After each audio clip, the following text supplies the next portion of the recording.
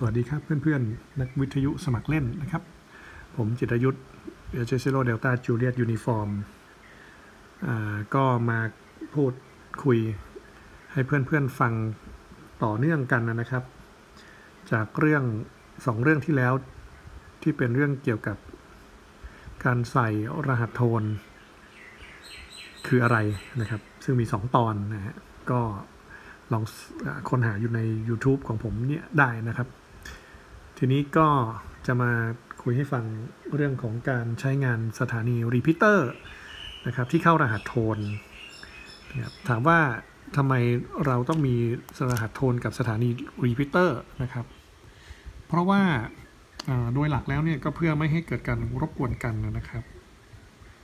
อย่างเช่นเรามีสถานี repeater ที่อาจจะอยู่คนละจังหวัดกันนั่นแหละนะครับ แต่ว่า ใช้ความถี่ภาครับ และก็ภาคส่งก็คือคู่ความถี่เดียวกันนะครับ อย่างเช่นภาครับเนี่ย repeater รับเข้ามาที่ 145จุด0.75เมกะเฮิรตซ์นะครับ แล้วก็ repeat ทวนออกไปนะครับ ที่ความถี่ 145.6 75เมกะเฮิรตซ์นะครับ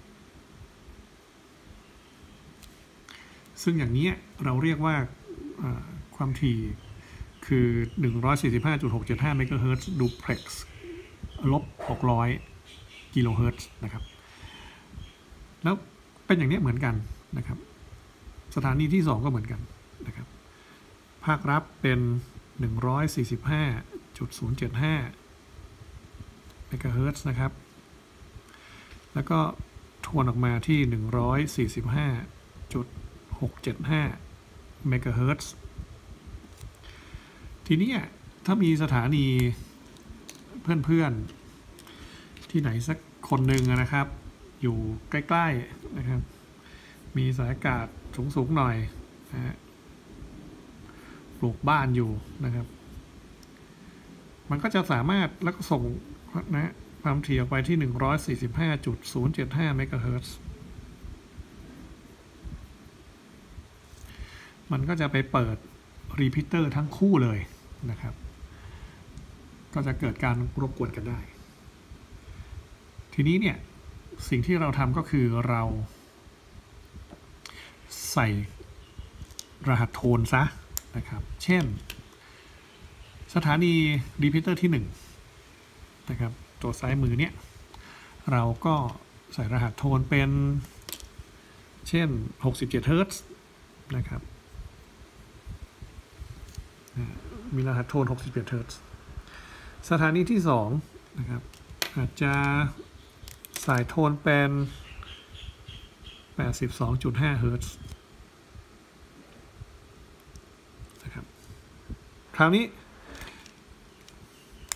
เพื่อนที่อยู่ตรงนี้นะครับ ส่งความถี่ออกไป 145.075เมกะเฮิร์ตนะครับ ก็จะเปิด repeater ทั้งคู่ไม่ได้เลยนะครับ เพราะว่าไม่ได้ใส่โทนนะครับ สิ่งที่เขาจะต้องทำเนี่ยก็คือถ้าเขาตั้งใจที่จะเปิด repeater 67เฮิร์ตตัวนี้นะครับ repeater ตัวซ้าย เขาก็จะต้องส่งโทนออกมาด้วยนะครับ ก็คือส่งที่ 145.075 บวกด้วยโทน 67เฮิร์ตนะครับพอ repeater ตัวซ้ายพบว่ามีรหัสโทนตั้งไว้ 67เฮิร์ตเท่ากัน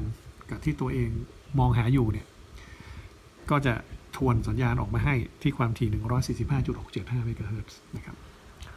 ส่วนตัวขวามือเนี่ย ก็จะไม่ทวนออกมานะครับไม่ทวนออกมา เพราะว่าเขารอโทน 82.5เฮิร์ตซ์อยู่นะครับ คราวนี้เนี่ยมีสิ่งสำคัญที่นักวิทยุต้องรู้ก็คือ เจ้า repeater ตัวนี้นะครับ เดี๋ยวหาที่ว่างๆในกระดาษตรงนี้นิดนึง repeater เนี่ย เวลาที่เขารับสัญญาณมาจากสายอากาศของเขานะครับก็มาเข้าแอมพลิฟายเข้าวงจรของเขาเรียบร้อยนั่นนะครับเขาก็จะ มองหาโทนนะครับที่เขาตั้งใจ ว่าจะต้องมีนะครับ มันถึงจะทำงานนะครับ เมื่อพบโทนที่ต้องการเขาก็จะรีพีทสัญญาณออกไปที่อ่ออีกความถี่หนึ่งนะครับ ก็คืออาจจะเพิ่มขึ้นไปอีก 600 กิโลเฮิรตซ์กิโลเฮิรตซ์นะครับ อย่างที่เราทำอยู่นะครับ แล้วก็ออกมาที่สายอากาศ ทีนี้เนี่ย มันจะมีคำถามอยู่อันหนึงว่า เอ๊ะ แล้วโทน สมมติว่าเป็น 67เฮิร์ตซ์เนี่ยนะครับ ที่เขารออยู่เนี่ย ซึ่งมันก็มีเข้ามาทั้งเสียงพูดนะครับ ก็คือ voice นะครับกับโทน 67เฮิร์ตซ์เนี่ย เขารับได้ด้วยนะครับ เวลาวิ่งผ่านมาเนี่ยนะครับตอนที่ repeat ออกไปเนี่ยนะครับ ตอนที่ทวนออกไปเนี่ยไอ้67เฮิร์ตซ์ตัวนี้ไปด้วยไหม มันมีอยู่ 2 มาตรฐานนะครับ มาตรฐานหนึ่งก็คือตัดทิ้งเลยนะครับ พอเจอ 67เฮิร์ตซ์ปุ๊บ repeater ก็ทำงาน ทวนสัญญาณออกไป แต่ว่าด้านออกเนี่ยจะไม่มี 67เฮิร์ตซ์ออกไปด้วยนะครับ แต่ก็มีอีกมาตรฐานหนึ่งก็คือสำหรับประเทศไทยเนี่ยนะครับ เวลาที่เราตั้งที่ 67เฮิร์ตซ์เนี่ยเรา แล้ว squelch ก็คือ repeater ทำงานแล้วเนี่ยนะครับ เราจะต้องเอา 67เฮิร์ตซ์บวกผสมกับเข้าไปด้วยนะครับ แล้วก็ส่งออกอากาศไปพร้อมกับเสียงพูด เพราะฉะนั้นสัญญาณขาออกนะครับของ repeater ไทยเราที่เข้ารหัสโทนตอนนี้ ก็จะมีทั้ง voice นะครับบวกกับโทนนะครับ ถามว่าทำไมเรื่องนี้ต้องมาพูดกัน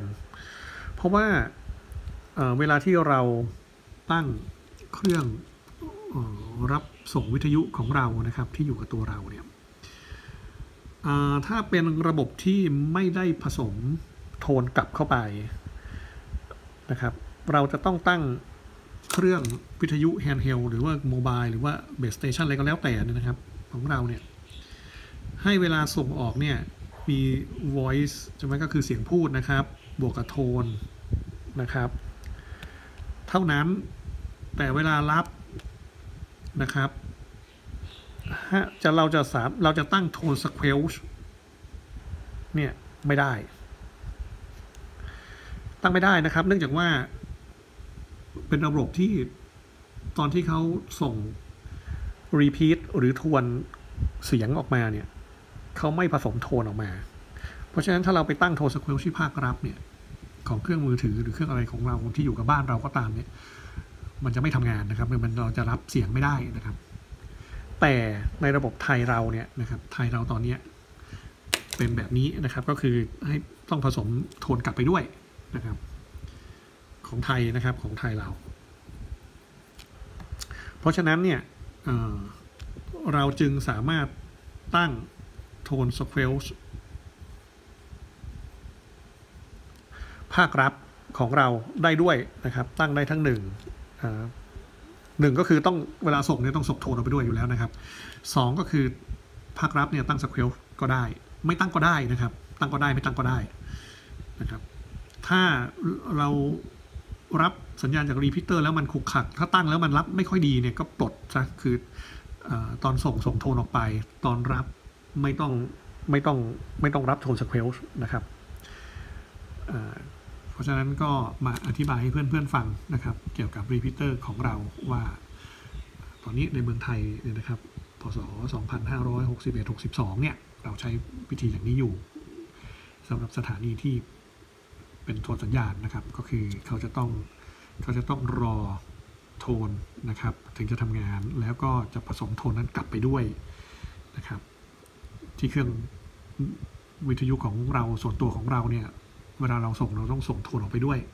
ส่วนเวลาเรารับเราจะตั้งว่าเป็น tone squelch หรือไม่ในภาครับของเราก็ได้นะครับอะแล้วพบกันใหม่ในคลิปหน้าในสาระดีๆ จาก HS Zero Delta Juliet Uniform กิตยุทธนะครับ พบกันใหม่นะครับ ขอบคุณครับ